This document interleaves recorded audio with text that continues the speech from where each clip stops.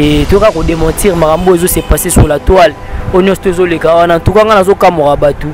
okolongwa comment chez yo osukoli olati bilamba après oye na concert oyebi bien place wana donc euh, voilà c'est depuis longtemps que place wana nde mpe bakalaki bajour wana et voilà donc artiste phare ya, ya journée wana ezalaki bongo euh, président na ngai inosbi epuis na mama na biso reboculo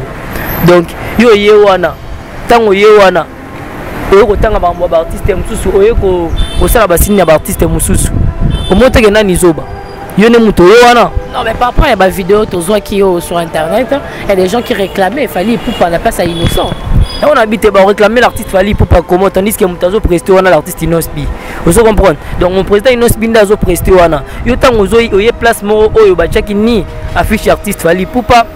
batiaki ni euh, affiche soki artiste soki solongolo soki pakala batie nde artiste euh, euh, affiche artiste ya euh, inosbi epuis na mama na biso reboculo ntango yo eye wana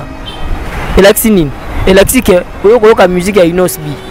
ozo comprendre oyo koyoka musique ya inosbi eyokoyoka la bonne musique donc oyo nyonso tosali wana yebaki osali no eloko te donc ti bainvitaki biso na deuxième édition wana ya basket na biso c'est parce que bayebaki force bayebi ke soki nyonso aza wana ekoattire bato bato bakoya ebele bakotondisa bref ane yango wana bato batondi epuis badetracteur oyo bayaki na mission na bango donc so oremarke badetracteur wana heure oyo euh, ezalaki donc prévu oyo fallait euh, makambo ebanda bango bayeba 3 heures avant en fait mpo na kaka bakanga esika wana basala bamakelelo basali bascenario bacree wana polemique mpe parce que on a vu on n'a pas bâti intégralité ya concert ya innocent te na page moko te bazwi ka image oyo bawarrior babandaki kodeklare comme ça nde basalaki na madeline donc na madeline tobeti concert na biso oyo totondi ti 1500 place mais ya de bato misusu bazoya alati na ye olie aexplike bato comment ndenge miziki bandaki kobeta na belgique te ndenge inonce azongisi miziki na belgique ye azoya koexplike bato ke inonce asali 200 personnes comment yo contaki 200 personnes bon avant 200 personnes pourquoi pas oyo osalaki promotion ya madeline mpo ti sikoyo concert ya madeline eza kaka toujours donc au top en fait ezo cartonne toujours eza concert moko oyo déjà na belgique epesi bato susu mposa ya susu ya kokotaka su baconcert ozomona donc au lieu osala promotion ya concert wana oyo eza humanitaire oyo ezosunga bandeko na biso badeplace de guerre ya goma yo oboyi na yo kosala euh, promotion na yango mais oye na nsima ya concert wana mpo na kolobaki esalaki 200 personnes na 200 personnes wana oyo olobi 200 personnes wana baconcert lelo ekoma euh, il faut kokisa 60 pourcent ya vente ya babillet mpo basala nini mpona bapeso accès ya kobeta concert sikoyo ozomona te ke bato baza mwa mayele moki baza mayele te yango mwana asengaka toujours na baémission na ngai mpo ngai nayaka kofinga te nasengaka toujours na baémission na ngai bato ya mayele nde batala émission oyo bato ya mayele batala émission oyo yango omoni euh, na mais baperiode de truc musique ya congo lokola bamama na biso bagele show lokola ba euh, bamama na biso misusu lokola bakisi njora mama na biso bamanike donc baza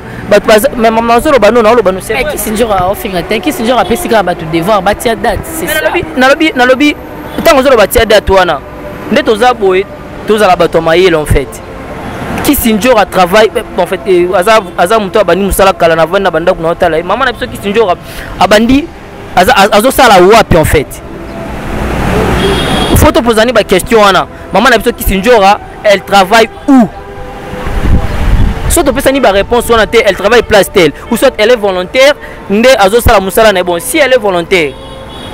si ale volontaire comment volontaire nde aza bongo adeplasaka na mouvement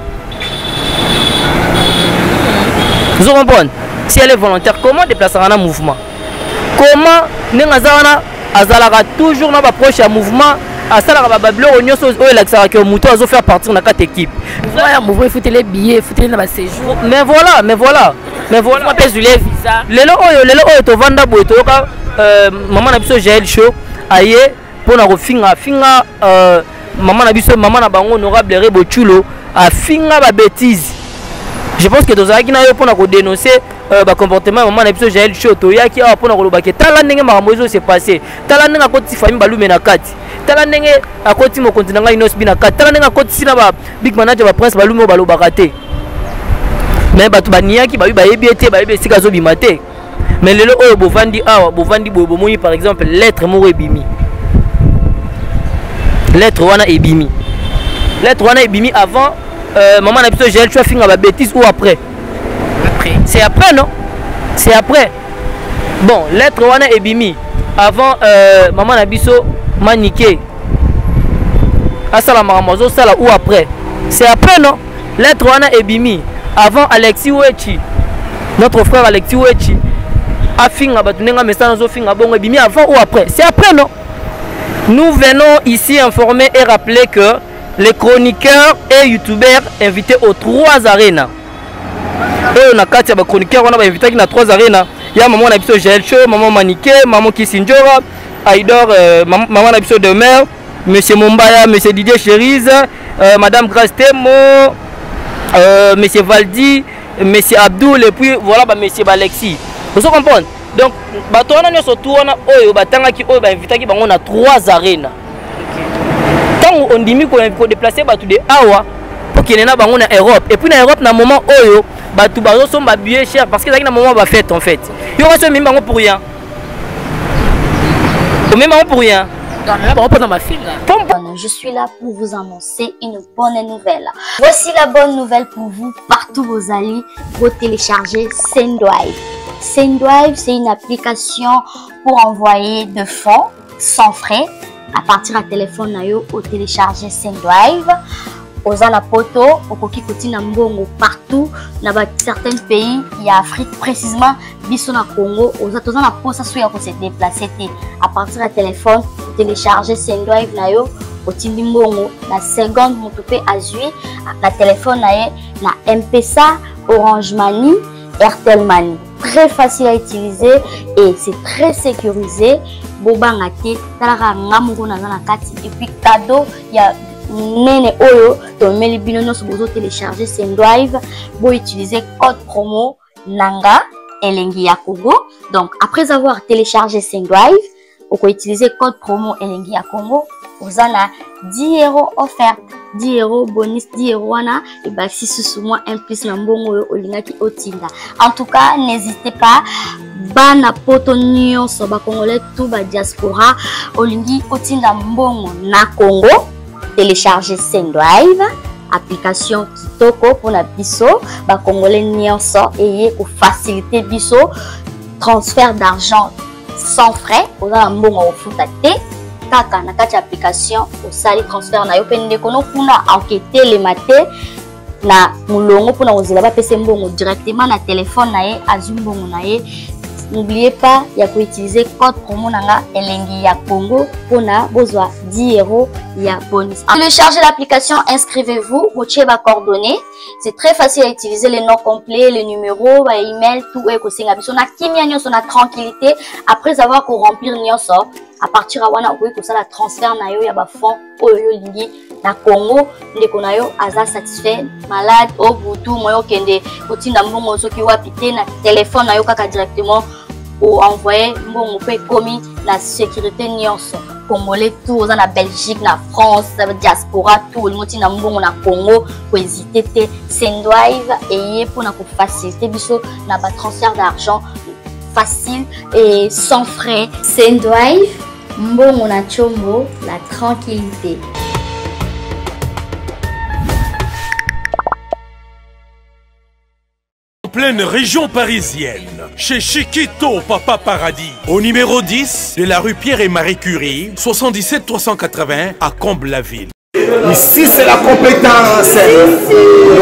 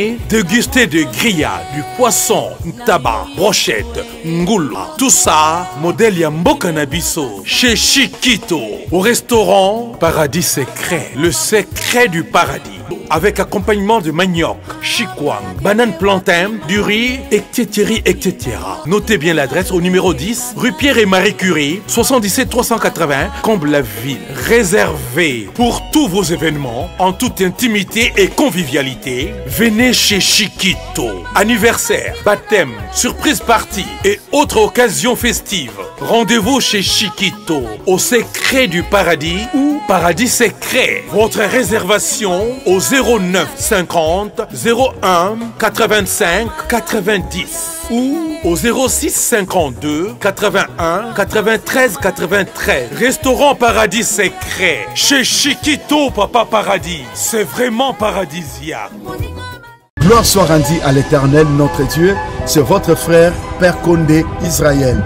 Nous débutons l'année 2024. Dieu m'a mis à cœur de répondre des événements sacerdotaux sur la ligne de prière. Écoutez bien commencer Commencez à te faire enregistrer de maintenant. Tu te fais enregistrer pour le service de la haute spiritualité. La Bible dit, il est celui qui guérit de toutes sortes de maladies. Il est celui qui délivre de toutes sortes d'esprits. Il est celui qui bénit. Alors n'hésitez pas à nous appeler maintenant avec ce numéro 0033 7 66 27 40 02. Alors nous débutons l'enregistrement et le service. Nous clôturons le 8, le 9 et le 10 mars dans la grande salle Shinagora ici à Paris. Alors faites-vous enregistrer maintenant. Là où vous vous trouvez, n'hésitez pas, envoyez vos requêtes. Deuxième chose, écoutez bien aimé, nous sommes avec nos bien-aimés de Guadeloupe et Martinique. Le 16 et le 17, nous sommes à l'hôtel Le Caraïbe en Guadeloupe. Faites-vous aussi enregistrer. Mes bien-aimés de Martinique, nous sommes le 23 à l'hôtel La Bachelière. C'est là où nous allons prier le 23. Que mon Dieu vous bénisse. Bienvenue dans Lenga Congo Télévision. Un grand merci na bino babone na biso fidèle au bozala wana pour la mélodie de la presse na bino toujours à votre service na sara bino tout le temps que Lenga Congo TV à radio T hein aux chaîne na bino et actualité chaîne de plus sara bino ba réalité aux leka sur internet et sur ces peut-être Lenga Congo Télévision na zana kinga kati kinga ta ba griffe ça fait un bout de temps tout le monde a sous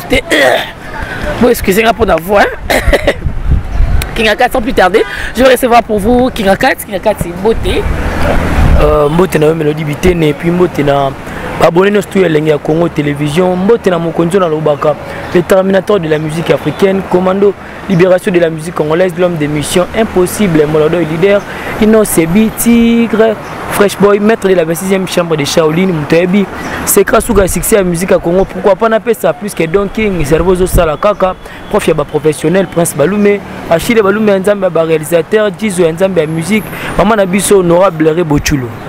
Et qui rakati avant ton émission on a pour pesa mbote na seloko na pele ya Willy Musheni, ya Willy Musheni, le code mondial là où tuye je te sali ekika kati ya bagriffe tomonaki bino boutaki kobeta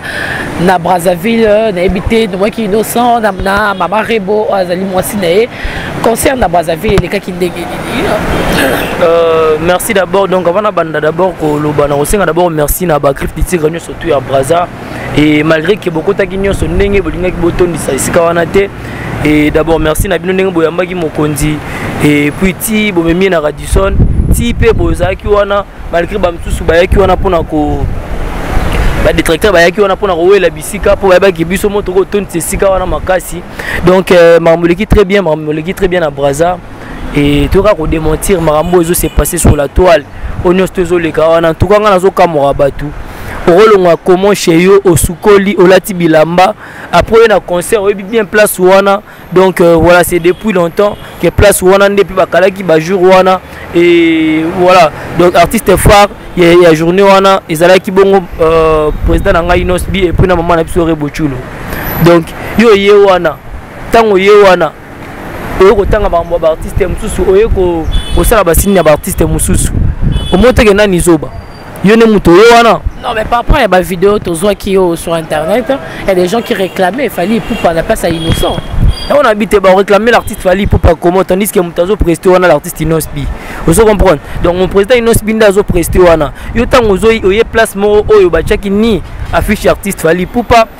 batiaki ni euh, affiche soki artiste soki solngolo soki pakala batie nde artiste euh, euh, affiche ya artiste ya euh, inosbi epuis na mama na biso reboculo ntango yo oye wana elakisi nini elakisi ke oyo koyoka musique ya inosbi ozo comprendre oyo koyoka musique ya inosbi eyoka la bonne musique donc euh, oyo nyonso tosali wana yebaki osali no eloko te donc ti bainvitaki biso na deuxième édition wana ya basket na biso c'est parce que bayebaki force bayebi ke soki nyonso aza wana ekoattire bato e, bato bakoya ebele bakotondisa preuve ane yango wana bato batondi epuis badetracteur oyo bayaki na mission na bango donc so oremarke badetracteur wana heure oyo euh, ezalaki donc prévu oyo fallait euh, makambo ebanda bango bayeba 3 heures avant en fait mpo na kaka bakanga esika wana basala bamakelele oyo basali bascenario bacree wana we yango nalobaka plus na baémission na ngai en tout cas émission mpena ya lelo enfin c'est un peu kosexplikane mpo naosenga nde bato ya mayele batala yango donc so oza mayele te tika euh, na bino ya mayele atala ebongo ayeba koexplike bino na nsima bandeko na biso ebele baza mayele te en fait eh, bandeko na biso ebele baza mayele te ntango yo oye osukoli bwana na bamakambo na bino ezolekela bino bamayele mais oye susu kokota na kati ya bamakambo ya bato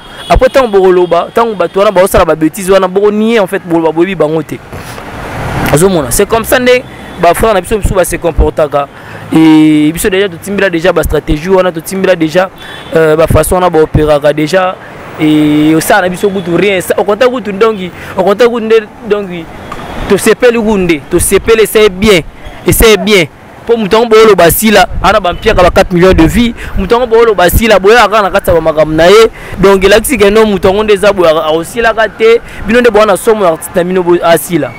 comprendre bokende bovanda na kati ya bamakambo na bino na bakati ya babiloko na bino ya bato oyo botie desordre lelo na musique ya congo lelo musique ya congo oyo ndenge eyekendele oyo en tout cas donc ezosala na mawa na mpasi so ovandi mpenza boye ozwi miziki ya kongo tyango neti nde na televizio na kati ya motu otala yango omona filme wana ndenge ezokende lokoyoka mawa comprendre lelo oyo miziki ya kongo ezocontinue toujours na kokita en fait na kokita baartiste ya artiste inosbi nde azoya na esprit ke alongola miziki ya kongo na kokita alongola yango mpe na makanisi oyo bandeko mosusu baza nango na métier en fait lelo oyo musique ya congo eza esika oyo ezalaki te soki otali na baniveau ya bapapa na biso bagrand kale papa na biso baluambo ba euh, tabulai ocomprendre ke musique ya congo esika ezalaki avant esika oyo baproducteur ya minene lokola bastila production banda kose déplace mpona koya koproduire baalbum na biso bato lokola bamonsieur simon banda koya kose déplace mpona koproduire baalbum na biso na batemp wana oyo musique ya congo ezalaki na esika nango na minute oyo omonake musique ya congo ezokita de plus en plus comprendre ezokita de plus en plus toza na mosala moko ya makasi ya kozongisa musique ya congo na trone na yango ezosenga euh,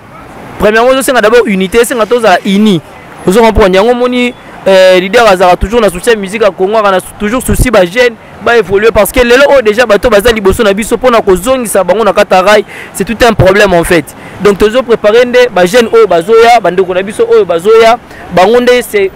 na bango nde yango wana tokotombola musique ya congo tokozongisa musique ya congo na esika oyo ezali motu moko takosa bino ke o oh, azotya musique ya congo soki wapi non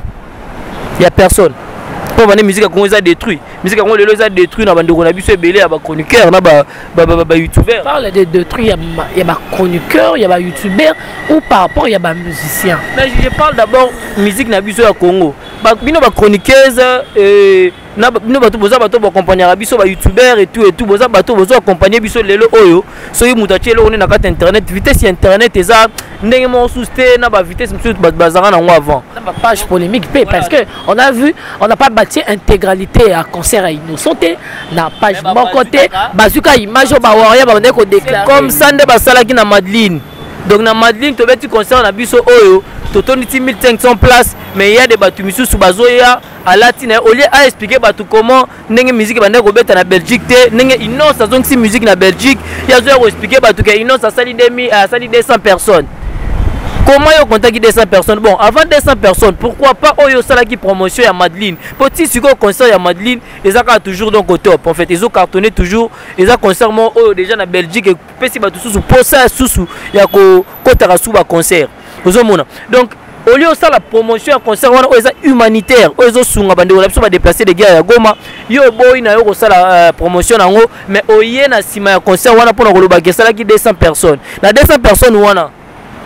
oyo olobi 200 personnes wana baconcert lelo ekoma euh, il faut kokisa 60 pourcent ya vente ya babillet mpo basala nini mpona bapesa accès ya kobeta concert sikoyo ozomona te ke bato baza mwa mayele moki baza mayele te yango mwana asengaka toujours na baémission na ngai mpo ngai nayaka kofinga te nasengaka toujours na baémission na ngai bato ya mayele nde batala émission oyo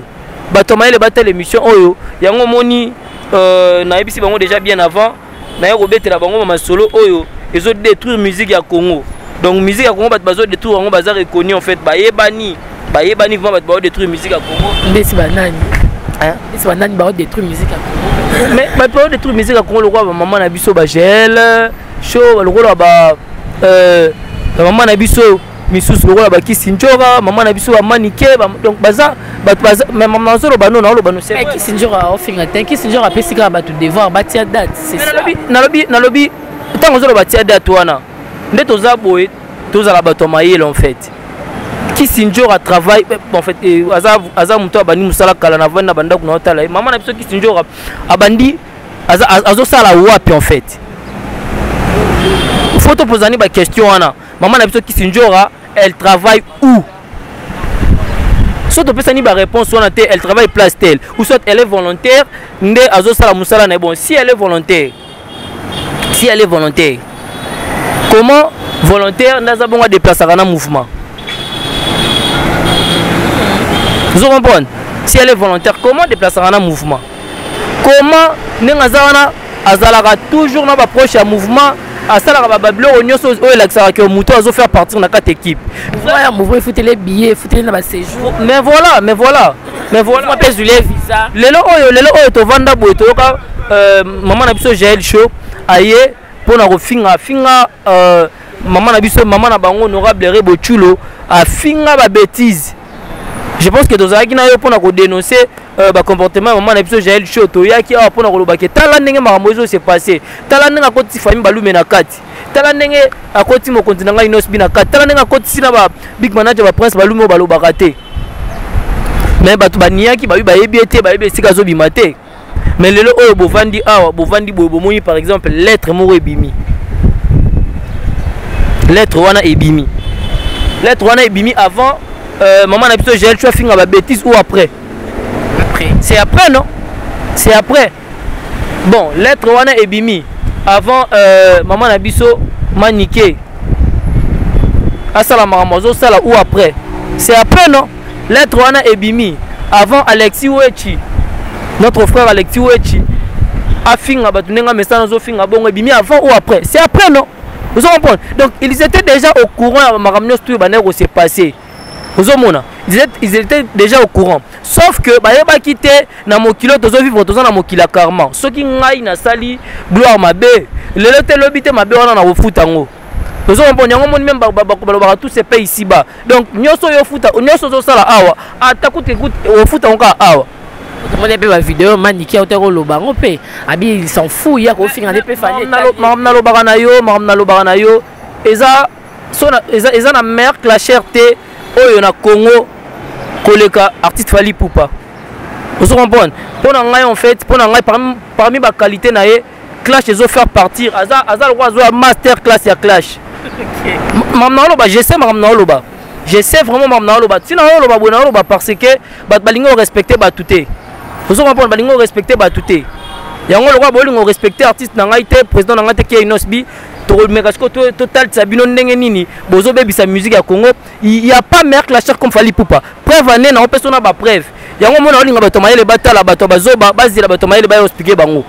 Mutu amema ko tout à bordure, ko lelo oyo plus de 20 ans de succès. Eloko bêtise ezo sala succès. Mutu point ya ko finga mutu, alobi zana tout à bordure. Nana memango. Fally Poupa dans une émission voilà. en Europe. Voilà, donc il y a plus de 20 ans, il y a 20, plus de 20 ans depuis à Lobango. ye moto amema ngo no okanisi mutu wana oyo abandaki kofinga kala wana c'est toujours l'artiste kofi nde moto mutano koinfluencie non il savait d'abord kofinga ezalaki moko ya bakalite ezalaki kati na ye na bakalite moko mibale misato yango wana mpe bandaki kofaire partir kati na ye yango omoni banda otala te bamise mosusu bafinga te ye nde afinga mpo ayebi kofinga ozomona ye moto acree yango ayebi yango te ayebi makambo osala te ozo comprendre donc ntango moto abandi ofinga bongo ntango mpe technologie ezo change lelo tozalaki na batelefone na batorche acomprendre ke na minute oyo soki nalobi na banda kofinga kaka nga moko eza lokola nazoboma je en fait natya sikoyo bato na nzela après sikoyo bato wana sikoyo babanda kofingelaka nga nga natindelaka bango kaka bamafinga me bato wana baya bango moko fali abenga motu te naotangelo lettre wana na lettre bakomi nous venons ici informer et rappeler que les chroniqueurs et youtubeurs invités aux trois arena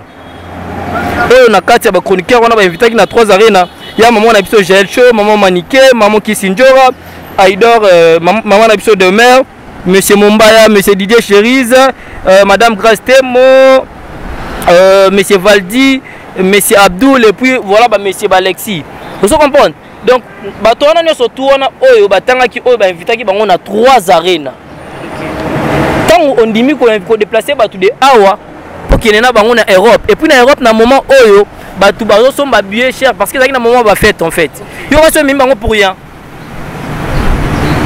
omema ngo pour rien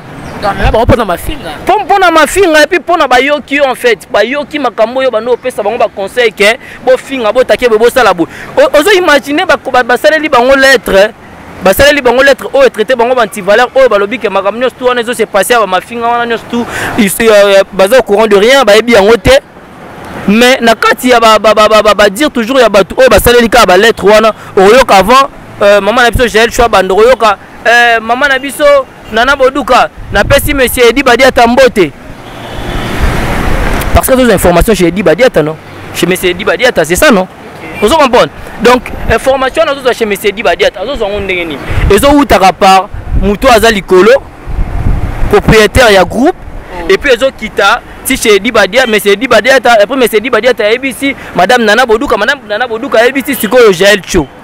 oh. oko comprendre que soki otali na kati na bango omona ke euh, maman monike ye aza côté plus ya ya ya monsieur sule kauka côté oyo jael cho aza côté euh, madame euh, maman nana boduka ozo comprendre ce n'est pas pour rien en fait ce n'est pas pour rien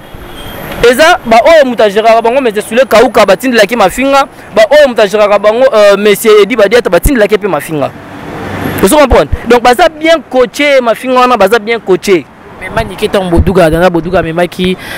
tozonga su mwa nsima ntango dana boduga amemaki bachroniqueur bakei kutana na fali me manike akendaka te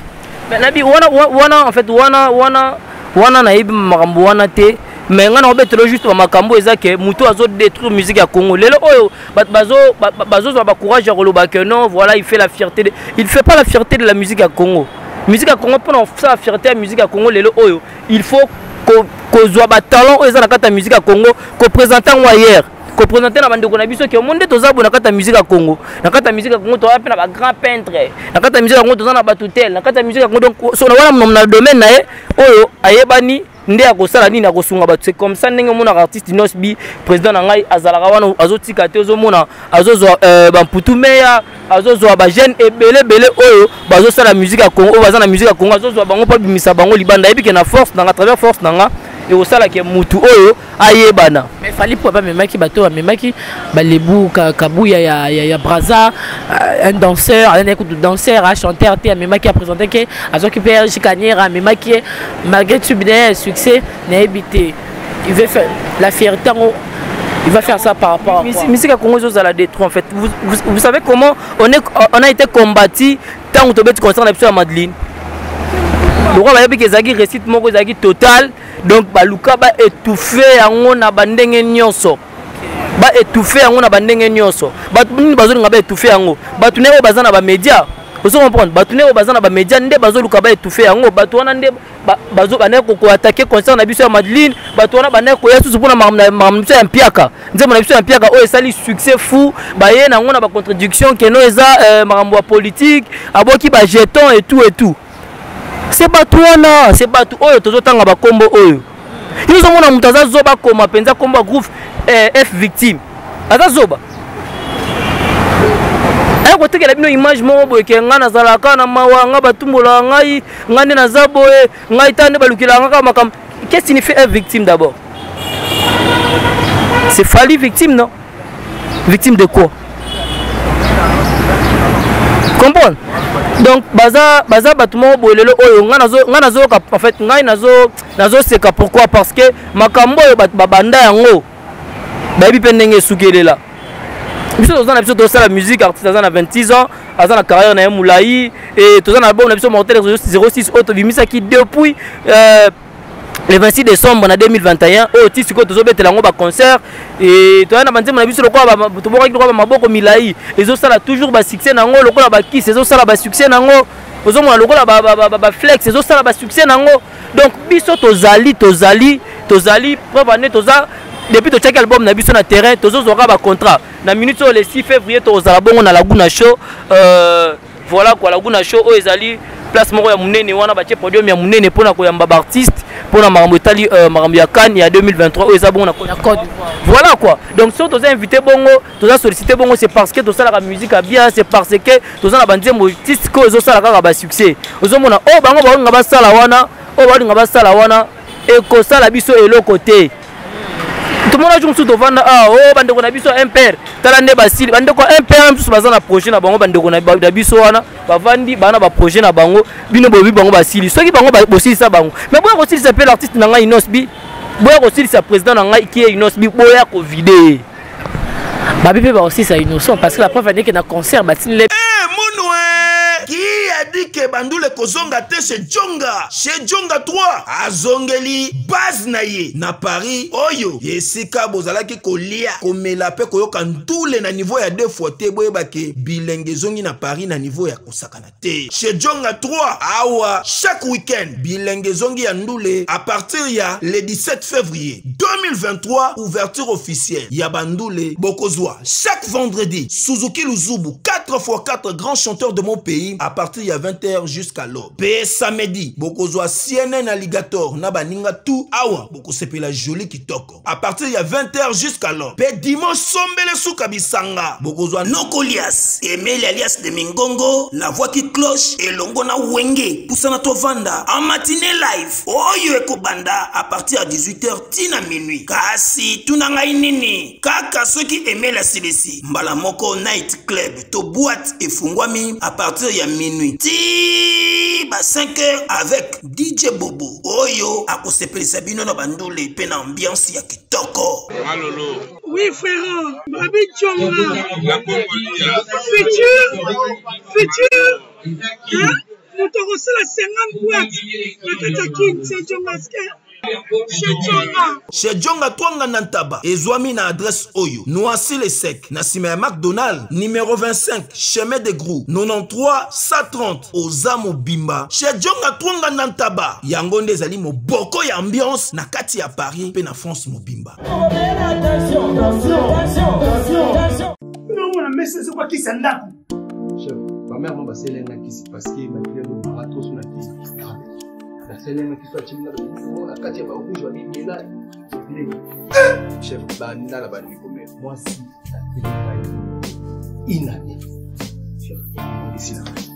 omoni bokufaka oyo oyo oyo biloko ezoboma bino ndela oyo lokola kisi ya ndako papa oyebi te ke laboratoire ya misine esene biso solution wuta kala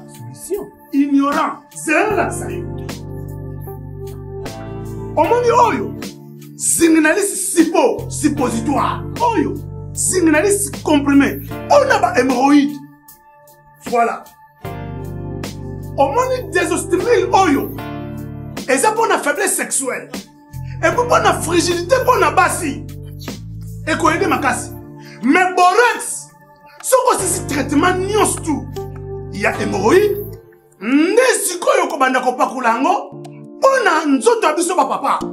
soki mpo olingi omesire basantimetre no avant banda kopakola mpo mokolo kosilisa okomesire lisusu okomonake box toujours champion okomprendre bakestio nyonso nayakisi yo okozonga esika mosusu te na congo kaka na laboratoire me ya misine epuis esalami na banzete ya congo banzete kaka ya congo banzete mosusu te ya congo nde mama nakosi te patro kosi te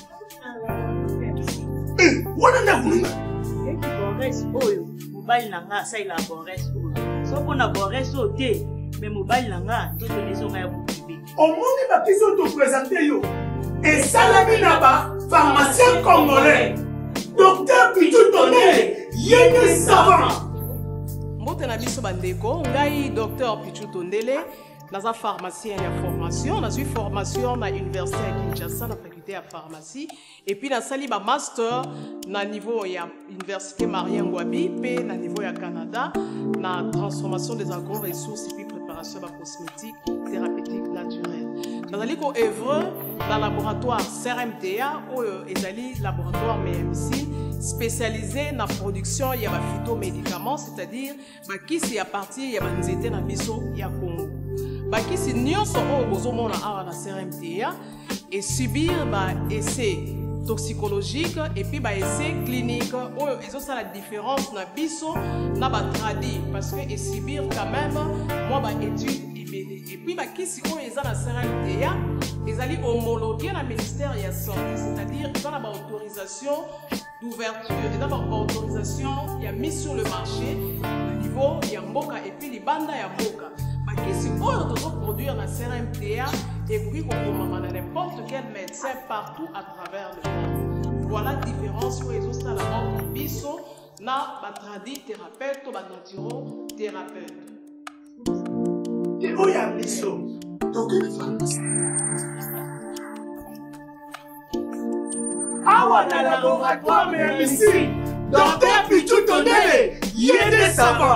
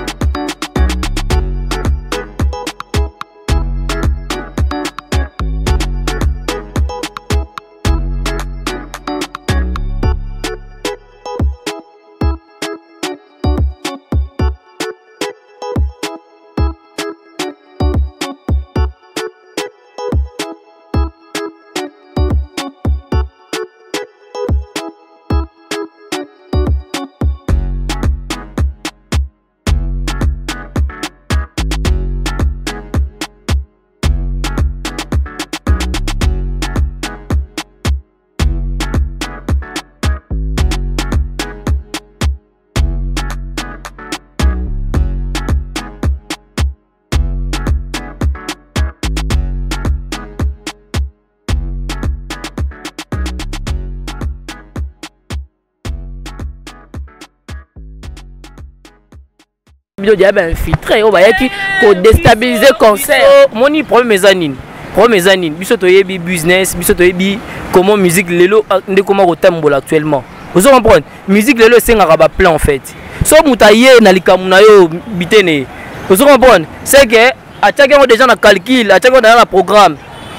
ayebi ke te nde eza boye donc le 21 akozala na makambo ya inos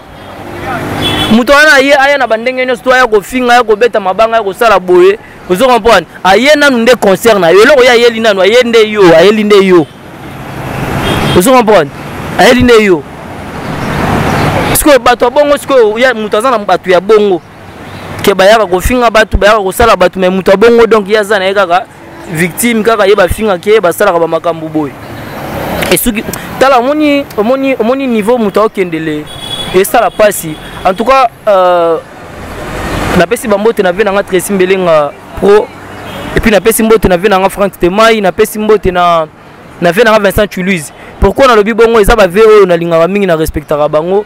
navandi boye jour mosusu batindeli ngai lien moko namoni vie na ngai vincent chulise azolobaki azo omoni nakendaki poto nakomi na poto euh, batindeli ngai bamessage ke non bazotya bato na groupe moko bazosala après naye komona ke batie ngai na groupe te heure nake koreklame bayebisi ngai nazalaka netre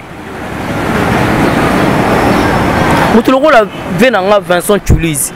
je pense que après bémission oyo euh, voilà tokoprograme mpe tosala émission moko soki kaka ve mpena donc aza netre osala bien donc moto lokola ve na ngai vincent tulise plus de 334 000 abonnés oke place moko boye soki mutu wana alingaka musique ya congo mutu lokola ve nanga vincent tulise mutu lokola ve nanga tracy mbelenga pro aza mutu oyo okoloba na aza netre yo fo tya ye poa parce que ye à travers ba bachaîne na ye nde ezosala ke musique ya congo etambola nde ezosala ke musique ya congo bato bamona yango susu libanda ozo comprendre mais ceque ntango yo olobi te ye aza netre c'est que oyebi ke ozalaka na souci donc na musique ya congo bachroniqueur bapatron ba nyonso to ya bachaîne ya bayoutube bakóma kaka ya yo alors soki ozalaka na souci nde bapatron nyonso to ya bachaîne ya bayoutube bakóma ya yo toza na badifficulté wana tozovivre na yango yo kasi moto asala makambo wana aza zoba ayebi ke lelo oyo soki bachaîne oyo bamusicien nyonso to ya congo baza na droit koleka na bachaîne nyonso tout bapase bainformation ya ya ba groupe na bango ayebi komo ndenge nini bagroupe wana ekoma lisusu makasi makasi koleka bato lelo baza na difficulté moto akoma mpo aleka émission kaka omoni vie na nga via nani eza musique vraiment osala succès bisika oyo badavido baza bawiskid baza euh, bamisia minene bazali airasta baosala basuccès esika bakuti bamama na bango bakwini bayemi alade ozokompone batems baza wana yo koma ozolinga donc nde oza wana mpo moto aya koloba makambo na ye fo aya c'est comment nde nini ozoma mpo nde nini moto aza na armée moko azoforme lelo oyo je pense que armée wana ekomi na suka armée wana vraiment ekomi na suka soki oremarke makambo ezo se passe ka entre bango soki oremarke meme na ndenge bato mosusu mpe bazobanga meme koreganie meme ki euh, abele na bango ya kinshasa o comprendre que armée wana ekomi na suka mpo makambo ebanda lelo te na musique ya congo makambo ya kotindaka bato bafingaka makambo ya kotindaka bato bakreelaka bato baproblème makambo ya kosala bato mabe na musique ya congo ebanda nango lelo te ozo comprendre donc euh, pas vieux zacle ya batango kala na bafefe nazoyebisa yo eza lelo te omoni me makambo oyo asalaka wana azotinda ozomona moto lokola euh, notre frère alexi wechi azozwa courage ya kofinga bêtise na nkombo ya, ya, ya artiste kofi olomide ozo comprendre courage wana oyo azozwa je pense que je pense qu'on dirait l'artiste fale azala na ba haine ya, ya artiste kofi olomide mposo azala na ba haine te akopermettre bato basala babiloko wana baosala te tovanda wana boye aosala na elengi ya congo me nzoka wana esprit ke jour kaka nakozwa chaîne na nga ndenge nakofinga tresi ozo comprendre eh. c'est pareillement avec l'artiste fali pupa na makanisi na ye azoloba ma ah jo mada oni na wana ye boye vraimen ah jo kaka na ozwaka nzela kaka nasali succès nakofinga yango ozomona ndenge azotinda bato eh, fali ano 15 jours afinga kofi c'est sans que ba c'est bato na ye abi engagea bango te bango fdc babiki engagea bango te ba bavolontaire bavolontaire wana ozoloba wana bavolontaire wana ozoloba baza bavolontaire te c'est bato na ye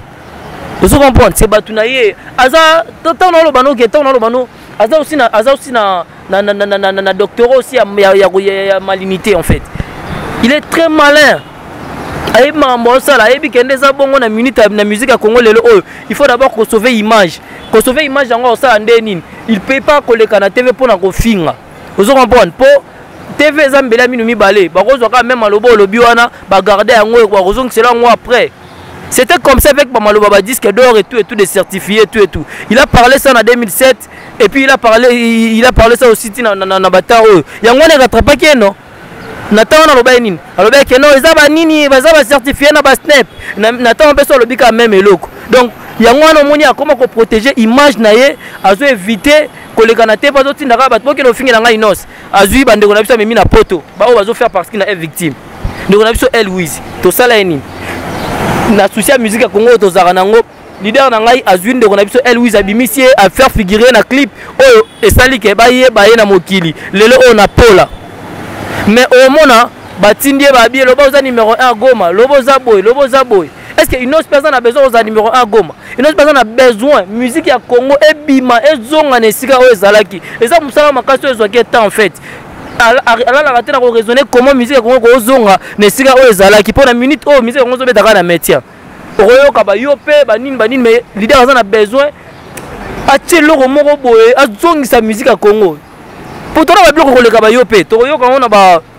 na ba projet na biso ezoya sikoyo tokoyoka tokoyoka yango donc si tout va bien ou soit maxi single tout soit album tokobimisela bino ane oyo donc bokoyoka babiloko eleki bayo mpe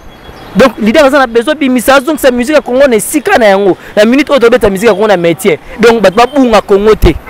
bayebaka ke eh, congo moko ezalaka makasi wana ezaka mwa makasi ke eh, so olingi oyoka mpe mwa bonne musique ozonga kaka kuna mais na ndenge ma ya pire boule ma boye kaye musique ya congo vrma meme na koteka na bato baolela ozo comprendre bato baolela ti sikoyo na musique ya congo bato baolela ntango bato baolela musique ya congo wana fo kosauve musique ya congo yo ye susu oye na bato na yo bafingaka bato basalaka bato bakende na bato boye oyo artiste kofi asala euh, artiste fali pupa ye osala yango te asala yango te eza mokili ya nzambe ezala bongo en fait nzambe nde atindaki artiste na ngai nosbi aleka à travers vodacom mpo akoma lelo oyo azali na oyo vodacom afuti ya mabe na ya malamu biso tozwi ka ya malamu tokontinue oyo ya mabe tosukoli maboko a ah, te tosala boye te tosala boye te tokontinue boye te tokie na biso boye mais ezala te ke ozongaka na ba haine wana oformaka ekipe moko boye mpo na kofingaka bato oformaka ekipe moko boye mpona oyebi ke ti lelo oyo tobanda ofetela yango baannée mpo bato bacomprendre ke année oyo artiste fale abanda obundisa ah, euh, président na ngai nos biti sikoyo tobanda ofetela yango baannée bacomprendre ndenge bato baza so tokoma ofetela yango baanniversaire nde bato bacomprendre ah, moto yango aza moto ya mabe eh, moto yango aza nde boye eh. ocomprendre donc so tokoma ofetela yango nde bato mpenza bacomprendre mpo moto aza zoba te azoba te mais par rapport ya bachroniqueur biso mpe bazongi kissinjor azongi na ye manike azongi na ye baoyo batikali wana nayebi te abi me kozonga wana kozonga wana tozwa yango grave te biso toyei tokende poto wana madelina bamusicien nyonso tu bazongi nayesu koinforme oke bamusicien na biso nyonso tu baza na bapasseport na bango na bandako na ba 4 na ba 3 na ba 2 ans oyebi kenga na voyagaka na fro congo no passeport na ngai yango oyo comprendre mais soki otuni moto oyo avoyageaka na groupe aolakisa passeport nini aolakisa boye te don nautaki kokende kosala mamaka moko boye esengaki identité na nga naza na passeport na nga sans problème so natisi passeport na nga nazongisi yango so esengeli fo abetela nga kashe napesi yango so nauti voyage nazongi na yango naza na passeport na nga eza babiloko moko boye artiste na nga deja inosbi abanda yango deja kala lelo oyo bato baosala yango babimisa yango neti nde likambo ya sika yokanga passeport mpo na nini passeport okanga motu mpo na nini oza ti opesi motu passeport oza eloko ya sika te eza ya ye yo betei nde kaka cache donc dossier na yo epuis na misusu na 90 euro oyo opesaki mpo na bapesi ye visa sikoyo bandeko na biso baperdre dignité kibomoto en fait likolo kaka ya visa donc soki mpo botyango na ndenge ya badémarche totya par exemple 5000 dollars to 6000 dollars ya voyage ya poto yo père de kibo moto na yo oyo ozotala te ke non bamama na bapapa baotala biso na batv ozoya kofinga bétise ozo comprendre oya kofinga bétise ozoya kocombattre voir même na concert ya madeline oyo eza à l'intérêt des enfants en fait ya, ba, ya, ya, ya, ya bana na bana otala même mpe makambo ya bana aforme arme moko boye na minute oyo nde eza boye nano ekiti te ezosila na moni kanga dato na lobelo lelo armée oyo l'artiste a formé ezo vide ezo vide nano esili te tala lelo oyo namoni euh, na page moko batindeli nga encore susu lien mama na biso nana boduka akomi eh, eh, vieux njora nga na tie date aza zoba c'est parce qu'il a compris que ça a fait quelque chose le slogan yango sikoyo a s'accrocher nango na moment wana elle fait partie, elle fait partie de, de l'œuvre victime mais ntango sikoyo bakobanda kofinga bato bazofingana bazokatana bapolo nde wana sikoyo nde alongwe na e victime mais tia neti yango ka challenge olitiki jour a lancé parce que bango babeti baconcert challenge par rapport ya nini par rapport ya artiste na ye ozo comprendre par rapport ya artiste nde natie challenge mais or na kati ya bureau bazonie bango vete baloba bayebi bango te mais okomona kaka na kati ya bureau wana moko azofaire partir na kati ya bureau wana oyo mpe aza puissante na kati ya bureau wana oyo mpe moto azotambwisa troupe wana mama na biso na na boduka ye aye mpo na koloba ke non vie njora ngai natie date mais soki babandi kofinga boyebi boyebi bango te na minute oyo nde toloba boye maniki bayebi ye te non bazo reconnaître manike aza ingrate aza ingrate or euh, nani mama na biso njora kisi njora ye afinga kofi olomide akepa euh, l'artiste euh, jb mpiana afingi ye azongisi susu pa euh, l'artiste fali pupa afingi ye azongisi susu pa l'artiste kofi olomide afingi ye mais moto ya bongo aza ingrate te a ingrate te aza bien mais ntango maman manike aye mpo na koloba likambo keno Euh, tala kutu boye boye boye boye wana nde botraité d'ingrate otraité secret belé na oloba te otraité d'ingrate pourquoi des visas ozomona donc seke yo olakaki bango visa mpo bafingelaka yo ntango mpe bango bamoni mpeke bazwi eloko bande kozela pa na yo baosala nini bazongi sikoyo na baposition na bango ti artiste na ngai navandaka mpo nasala mosala na ngai ozo comprendre navandaka te naya mpo na soki visa ou quoi ou quoi que ce soit non nayaka nasala mosala na ngai mosala na ngai nde ezomema ngai bisika ezomema ngai mais ntango yo omemi bango moko na idéologie ke bosalela nga mpo na visa ntango moto azwi visa osani azongi sikoyo na position na ye kibomoto na ye ke akokota na babétise te amona mama na biso jael tu azofinga bato babétise azokata babilamba na batv sa pourtant kotala ke bana na biso lelo oyo bazokoma kosimba batelefone na bainternet ozo comprendre kingakati ya bagriffe ya oloba eza ebele mais nous courant derrière l'état nayebi te tokomi na biso na suka mot de la fin na baamoureux nyonso oyo baamoureux de la bonne musique na bato balingaka président na biso président na yo innocent balume en tout cas mot de la fin afro congo eza toujours number one ekotikala kaka number one concert ya madeline yango nde kaka ekangi makambo na bruxelles wana ezosala kaka makambo ezosala wana et puis euh, mpiaka donc 4 millions de vie déjà merci boconsomme bocontinue toujours koconsomme mpiaka yango wana ezopesa bato trouble ezombrie badetracteur eh, bobimisi babiloko ebele tobimisi kaka mpiaka bato bazolala te bato bazocree yango bamakambo ebele o oh, politike o oh, nini o oh, nini donc eh, concert ya braza donc tokeka showgase lider abona ye abi te nakende kaka nasepelisa bana na braza bagriffe litika ya braza balamoureux ya bonne musique ya braza bopermettre botindeli meme na leader na ngai botindeli ye bato kaka mpo donc gibayaka kopesa mbuye mwana conseil donc euh, voilà quoi bo continuer toujours ko consommer mortel 06 bo continuer après congo planète live bo continuer yango bozala toujours actif na bacompte na biso e bokende kostrume banzembo tozo préparele bino leader aza na kati ya cuisine aolambela bino eloko moko ya bien en tout cas kala te boza ya kosepela bafite oyo bosengaki wana boyebaki eza na kati deja ya baprojet eza deja na kati ya baprojet wana e merci na yo melodi bitene merci na gloire dia kese malgre alingaka tomona madame te gloire dia kese merci na joyce donc euh, joyce na ngai joyce ya solaka bien eh, ya solaka bien epuis napesi mbote na ngai na papi muya papi muya eh, papi muya motu moko asolaka bien ya solaka bien soki okutani na levier papi muya osepeli et pourquoi pas napesa donc euh, sœur na ngai Karine Muya napesi ye mbote Christelle elaka la diva lisungi et mbote bisika ozali napesi mbote na maître Chamo Kalala napesi mbote na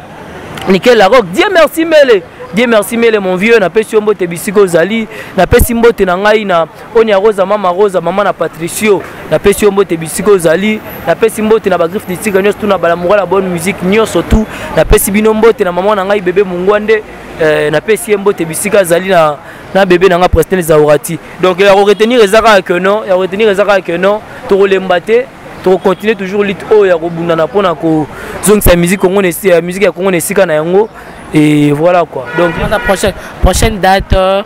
prochaine date le 6 février le 6 février na laguna show na abidjan na abidjan na laguna show eza place oyo euh, bamisie ebele déjà bazobeta wana donc biso toza programme le 6 février oyo boya ebele ebele ebele boya koyoka la bonne musique boya koyoka musique oyo ezo déranger donc ezo déranger bana na ndako mpo biso na congo toza bana na ndako tozosangana nde mpo tosala équipe nationale mpo tokende obundisa libanda mais oyo ezo déranger bana na ndako musique na biso yango wana afrique congo boya koyoka musique ya laboyoka la bonne musique donc euh, voilà c'est un peu ça merci à toi kingakati merci d'être toujours euh, sur rendez-vous na biso ya répondre toujours na bainvitation na biso et c'est un grand réel plaisir ya koyamba lelo na elengi ya congo télévision moi je dirais merci na bato balandaki biso en tout cas bocontinue toujours kolanda biso et les bato basabone te bocontinue kosabone na elengi yango mpo bozwaka toujours baexclusivité ya kitoko avec votre humble servante mélodie de la presse na bino moi je vous dis merci je vous retrouve à la prochaine je vous dis bye bye